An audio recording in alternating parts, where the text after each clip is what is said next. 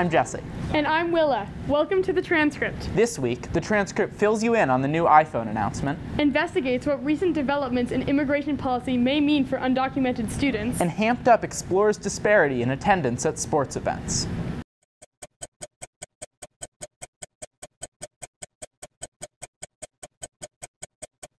The U.S. Department of Justice has declined to bring charges against the six police officers involved in the arrest and subsequent death of Baltimore resident Freddie Gray. In April of 2015, Gray died after he suffered a spinal injury in police custody. The death of Mr. Gray was met with mass protests in Baltimore. The officers were acquitted in a state trial. In August of 2016, the U.S. Department of Justice issued a report finding that the Baltimore Police Department continuously conducted unlawful stops and used excessive force, particularly targeting black residents. The death toll from Hurricane Irma has risen to 68, with 30 deceased in the United States alone across the states of Florida, Georgia, and South Carolina.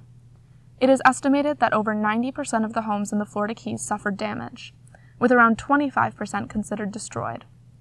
As of Wednesday night, close to 3.9 million people in Florida were still without power. Food and water are running low on the islands where Irma first hit. Ten people were recorded dead in the 72 hours when Irma crossed over Cuba. Combined, Hurricane Harvey and Hurricane Irma may cost up to $200 billion in damages. The Secretary General of the United Nations and the UN Security Council has called on the government of Myanmar to end military action against Rohingya Muslims. The Secretary General acknowledged that the Muslim minority was being ethnically cleansed from the Buddhist majority nation of Myanmar. Violence began on August 25th when Rohingya fighters attacked police. Since then, approximately 370,000 of the Rohingya population have fled to neighboring countries. The Rohingya have been denied citizenship in Myanmar since 1982 and have been subjected to routine violence and extreme living conditions. Hi, I'm Jonah Ills Murphy, and welcome to Tech Bits. On Tuesday, Apple released an Apple Watch alongside of three new phones.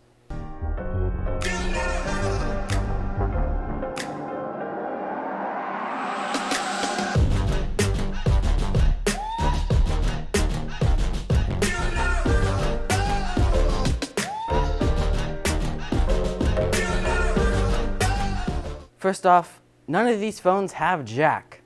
Headphone jack, that is. These phones were the iPhone 8, iPhone 8 Plus, and the iPhone 10, but it's spelled iPhone X. But to keep track of it, let's go to the chart. First off, all three phones have glass backs, which means they can have wireless charging. All three phones are just as water resistant as last year, which means that you can keep them under the water at a depth of 3 feet for about half an hour at most. They also have Apple's new A11 Bionic processor, which basically means it's a fast processor good at multitasking. Lastly, all of them are available in 64 or 256 gigabytes, and all three of them are running iOS 11. Now to the nitty gritty. The iPhone 8 has a 4.7 inch display, just like last year, and a single 12 megapixel camera, and a fingerprint sensor. The iPhone 8 starts at $699. The iPhone 8 Plus also has a fingerprint sensor. However, it has two 12 megapixel cameras and a 5.5 inch display, but it'll start burning a hole in your wallet at $799. The 10 has an almost full screen display, excluding a small bar on the top for sensors and that beloved selfie camera. But wait, there's no home button? Well, say goodbye to that too, along with the headphone jack. Instead, you can swipe up to access the home screen. As far as unlocking your device, the iPhone 10 has a face sensor in the top bar. On the other side of the phone, you will find two 12 megapixel cameras oriented vertically. This model comes in space gray and silver and will start at $999, but has a maximum price of $1,149. Pretty expensive.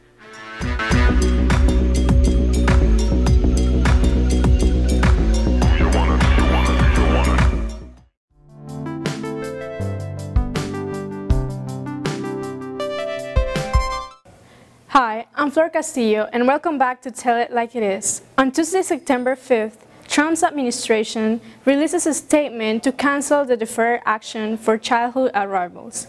So this week, I looked into how this issue has an impact on DACA students and families in Northampton public schools. So DACA is a, an executive order that was signed by President Obama in 2012. Um, and it's meant, it stands for Deferred Action for Childhood Arrivals, and it's geared toward giving some protections to children or people who are brought here to the United States as children by their parents illegally. And so they've spent most of their lives here in the United States, and many do not have any memories even of their home country. And so technically they're here illegally, they're not citizens of the United States, and they don't have a pathway to citizenship. Since Congress wasn't acting, he passed, well, he signed uh, an executive order to give them uh, protected status for two years in two-year increments, and that would allow them to get a social security card, um, get financial aid for college, and other protections that are guaranteed to people that are here legally. And every two years they have to go and check back in with um, immigration to make sure they haven't committed a crime or done some other thing that should make them ineligible to be part of DACA, to receive the benefits of DACA. I, I imagine that the, the unfortunate decision um, is already impacting our students the way they come to school in terms of a lot of anxiety and a lot of worry. So there's probably some things going on that I can't control. I'm sure we have students here that have registered with DACA or they have family members that have registered with DACA. I know I have former students who are part of that and they're very, very scared. They have no idea what their future is going to hold. Um, some of, many of them have set up their lives here. This is all they know. They have family that was born here. Even their own children were born here, so their children are citizens of the United States. And if they're deported, they're separated from their children. This is a safe spot.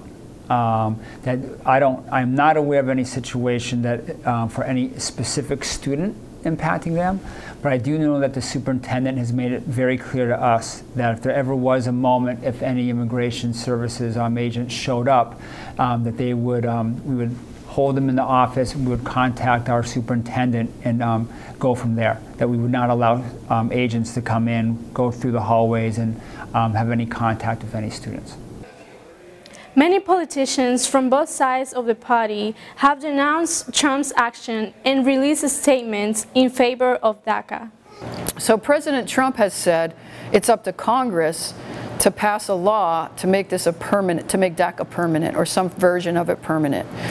So what people can do is um, write to their congresspeople, their senators, their representatives in Washington, and ask them to move on this issue, to try to pass a law to make these people still have either still have the option to register for DACA and continue the program as it is, or to find some pathway to citizenship for them. The policies of Northampton Public Schools will not change, and DACA students find themselves in a safe space where they can get an education. I'm Flor Castillo, and this was Tell It Like It Is. Good morrow. I'm Gaming Terra. Yeah, I'm gonna tire, but who cares? Welcome to Hamped Up. Y'all ready for this?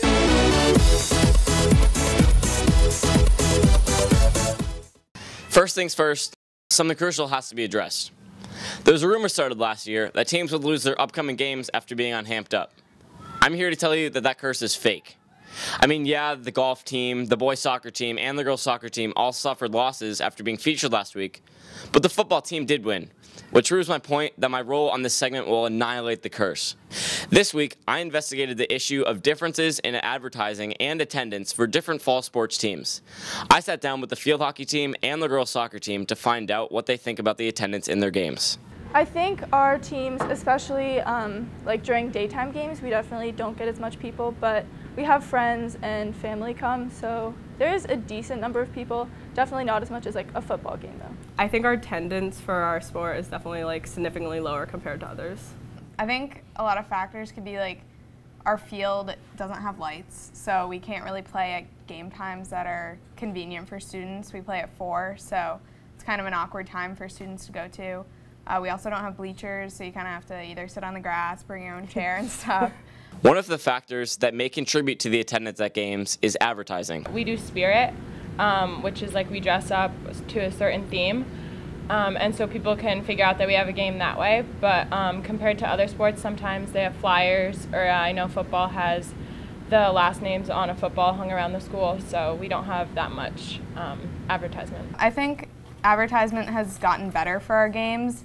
It used to like pretty much be non-existent, but I think Kara has done a really good job of like kind of equalizing the advertisement for all fall sports, especially this year, which is really, really good.